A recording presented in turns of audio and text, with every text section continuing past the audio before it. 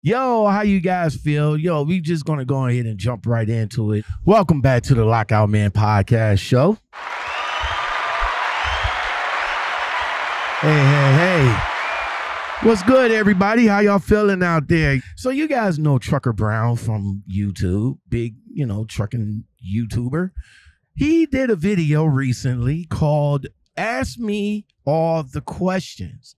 So me being me, I went in to, you know, watch the video. I also w- went back for the purpose of this video to get all of the questions that was asked of him in the video. The questions that was asked was very good questions and I thought I'd just jump on and see if I can give, you know, some of my thoughts on the questions, right?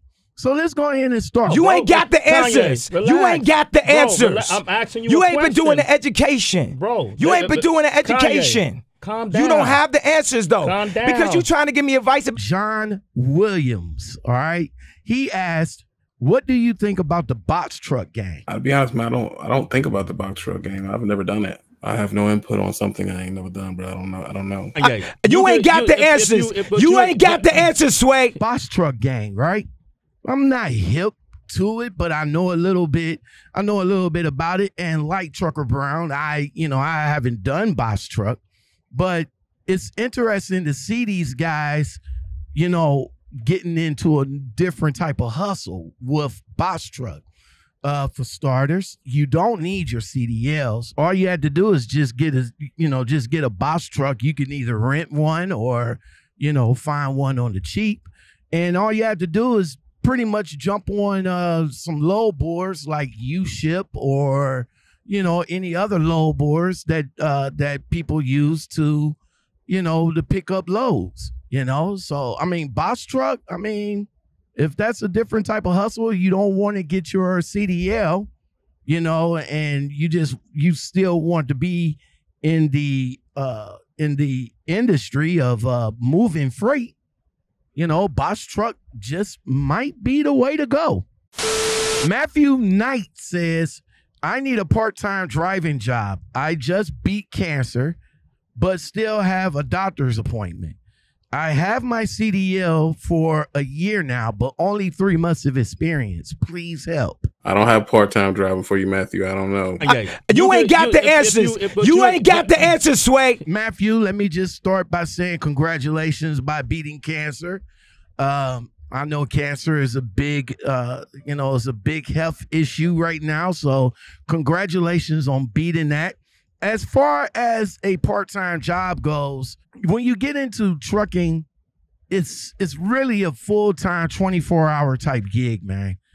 Um, I, I'm not sure if any, especially mega carriers, that's going to take anybody on to do part time. Uh, you got you got regional, and that's about as close to part time that you're gonna get, and local.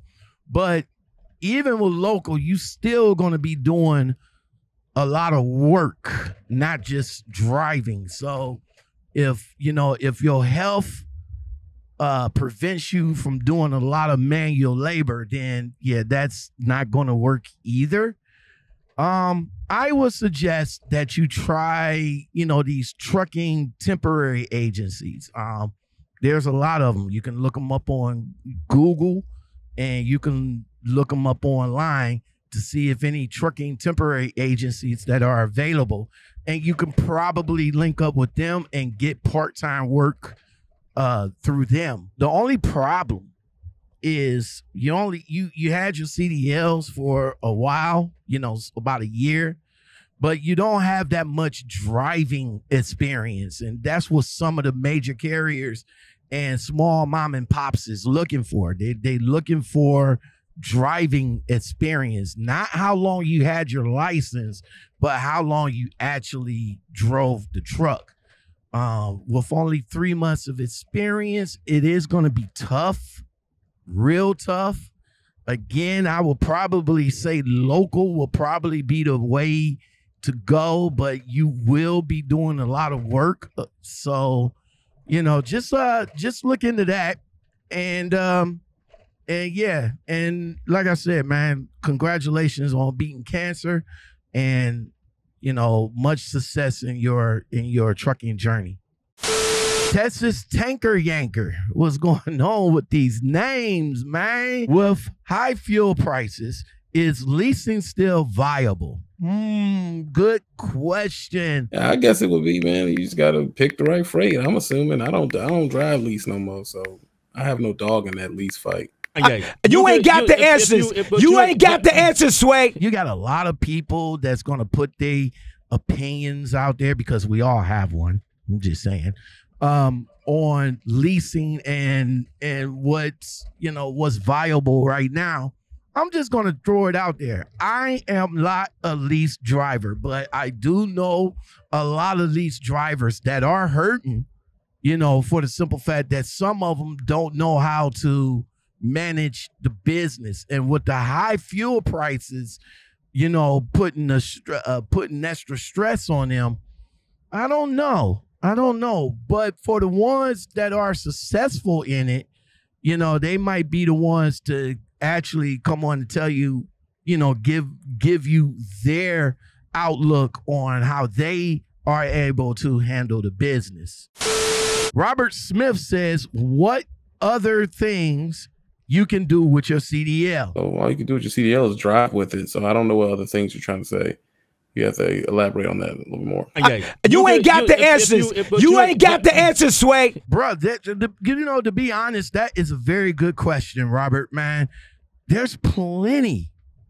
There's plenty to do with your CDLs. All right. Not only that you can drive semi trailers or semi trucks and trailers, but you can operate heavy equipment, construction equipment. Uh, you can operate buses with the passenger endorsements. Um, you can operate, you know, mid-sized bus, uh, bus. You can operate mid-sized box trucks or straight trucks, as they call them. Um, you don't need your CDL Class A to uh, to operate those those uh straight trucks. That's you know like FedEx. You you see those FedEx ground trucks, those straight trucks right there. The only issue that I have with with straight trucks though, they require you to do teams. Um, they want you to already have a team driver set up to operate uh straight trucks because they're more on the expedited side. Those the type of trucks that you really got to have it there the next day. So say like somebody orders something today and it got to be there tomorrow. They re they rely on the straight truck, uh, straight truck guys to get it there. And you have to, like I said, you have to run teams. So if you're not uh, a team driver type of driver, then straight truck might not be your bag. But there's uh, there's a lot of opportunities out there for your CDL. You you just don't have to use them for tractor trailer driving. Risky 33 says is $1,100 to $1,300 net. That's take home a week local good for a rookie driver. Uh, 1100 1300 net weekly is good for any driver, bro. Well, locally, not just a rookie. I, you, you, ain't got you, the answers. If, if, you, ain't got the answers, Sway. Hell yeah, bro. Hell yeah, that is that is very good for a rookie driver. And take home a week. Yeah, bro. Net take home, bro. Yeah.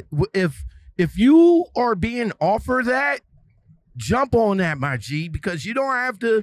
If if you're the type of driver that you know that don't want to go over the road or anything like that, and a local company is offering that kind of money, that's the same kind of money that you would get if you was over the road as a, as a rookie driver or less. I digress you are are you not telling us that we have to work for that money?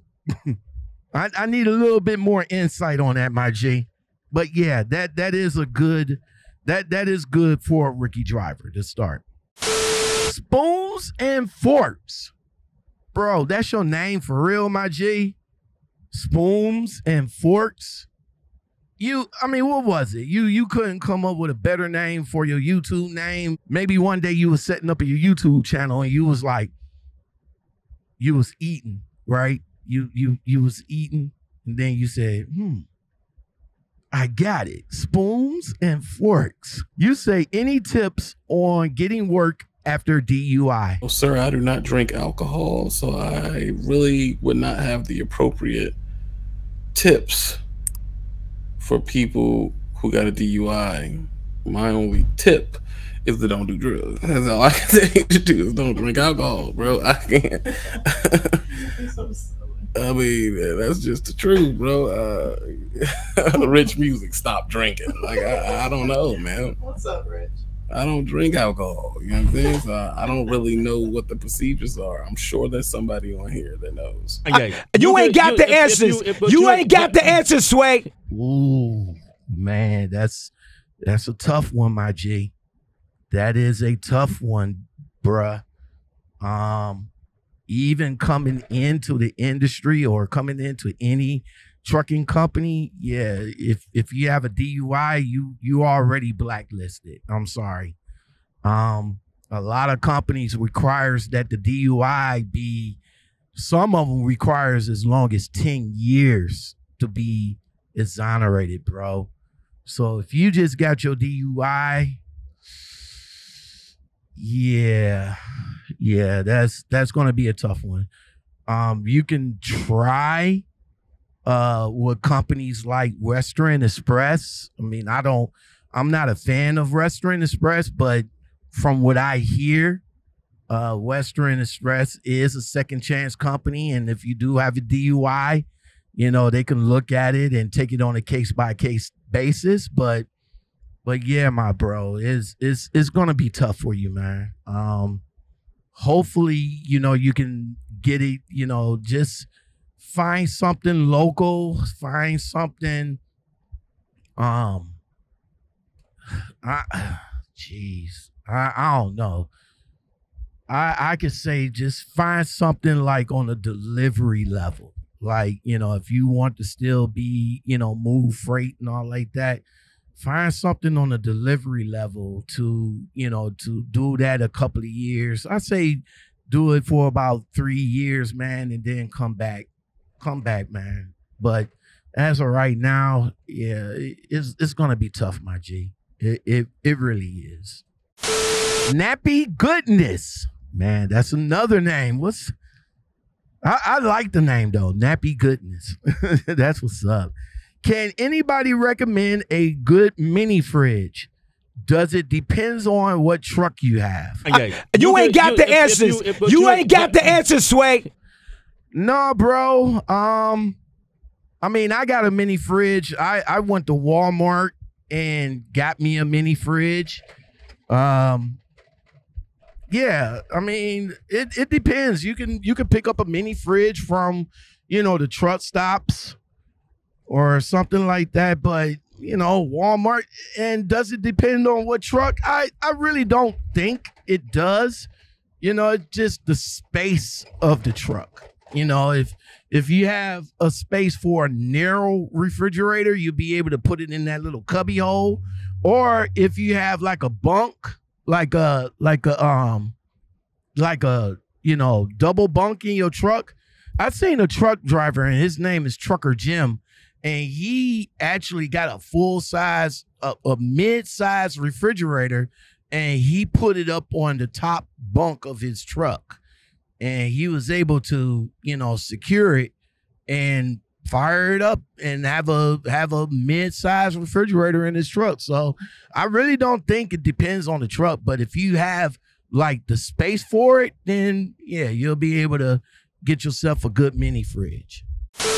L. Hunt says why is it so much uh politicking and, and oos kissing at these local jobs, man, y'all don't know the half of it what's going on in these offices, bro. There's so much politics. I don't know. People are just terrible people, bro. That's all I can say to that. You know, all this politics and stuff because people want to want to be liked or want to be revered as something that they're not. Dude, go to work, go home. It can be all the politics they want. I'm not there. And Booster, thank you for the five dollars to the cash app. You know, it can be all the politics they want to go through there. I'm not hanging around for politicking. When they start that politicking type of stuff, you know, I'm I'm Gucci. I don't I don't I don't involve myself in that. For for for there to be politicking, you have to participate. I, you, you, ain't got you, the answers. If, if you, you, ain't got the answers, Sway. Good question, bro. I I personally haven't heard much about uh about the politics of um uh, of uh local jobs. I mean, I always thought that from what I heard, I always thought that local jobs will be, you know, is the one to actually get. And it's it's it's a lot it's it's a lot tougher to get into it because a lot of local jobs don't want to take you on because of the less experience that a person have. But over the years, I come to find out that there are some local jobs that will take you in regardless if you're a new driver or a veteran driver. And as far as the politicking go, uh, I don't know. I mean, I haven't I haven't drove local. I mean, I always looked at it, you know, but